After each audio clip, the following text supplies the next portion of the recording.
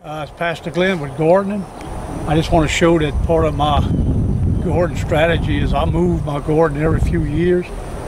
Uh, I've been in this acre right here now for uh, three or four years, I guess, and I can tell my ground's getting depleted. My plants are not doing as good as they used to. Uh, so what I do is I follow, it's called sustainable. I follow my livestock.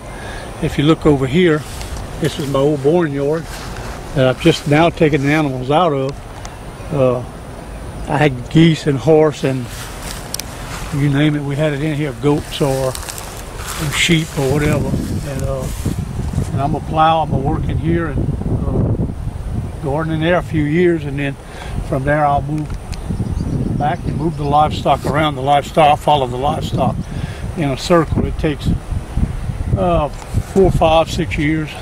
Uh, and I make the complete circle, just following the livestock. As they go around, I follow behind them and just move them around. And uh, I will come in here and put some uh, winter peas and some, this winter and some ryegrass and uh, those types of things. And like I said earlier, I do use some commercial fertilizer.